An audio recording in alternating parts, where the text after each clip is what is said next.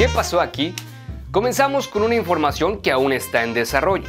Todos nos enteramos de los lamentables hechos en una escuela en Texas donde fallecieron 19 personas, la gran mayoría menores de edad.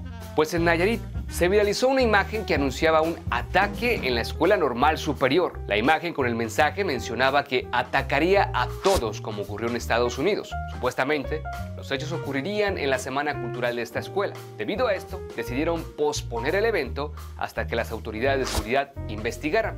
Y fue así, ya se realiza lo correspondiente para dar con la persona que realizó este posteo.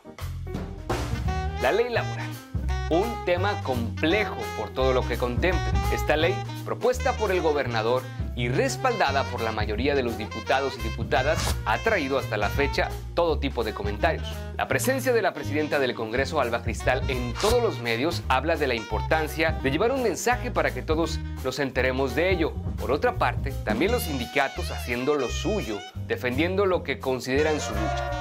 Quiero resaltar algo y sin decir qué está bien o qué está mal de esta ley. Por ejemplo, el diputado Luis Miramontes, el PECAS, y la presidenta Alba Espinosa le han entrado al debate, sobre todo en los medios, pero los demás diputados y diputadas no se han asomado ni declarado nada, solo en la votación de la ley. La verdad es que no creo que sea una instrucción, al contrario, es un buen momento para que cada uno y cada una luzca la esgrima política que los tiene ahí.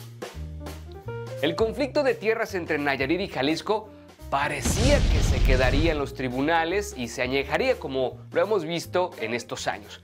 Pero la semana, integrantes de grupos de indígenas del estado de Jalisco fueron recibidos por el presidente Andrés Manuel López Obrador y les dijo que les resolvería a favor. De inmediato el gobierno de Nayarit dijo que no va a permitir que se les robe ni un milímetro de tierra. Se supone que detrás de este grupo de manifestantes estuvo el gobierno de Jalisco. Defenderá a Nayarit cualquier milímetro de tierra que esté en conflicto y no permitirá, por conflictos amañados o por cuestiones de carácter político, que se pierda el territorio de los nayaritas, de los grupos indígenas nayaritas y sobre todo que no se preste a componendas de tipo político, porque sabemos que en el acompañamiento definitivamente hay la injerencia del gobierno del estado de Jalisco, que es un problema añejo. Estamos en el inicio de un pleito entre nuestro estado y el de Jalisco. Yo le voy al doctor.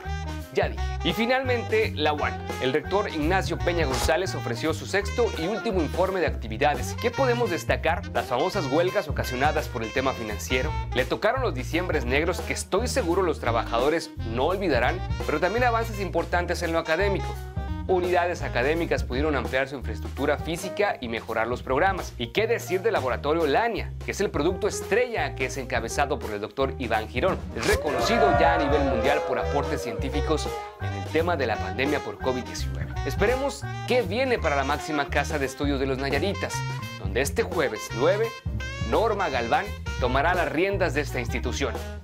Ah, por cierto, antes de que se me olvidara, el gran capitán Jack Sparrow, Johnny Depp, luego de su juicio contra su expareja, se le vio en calles de Londres luciendo una gorra de nuestro estado.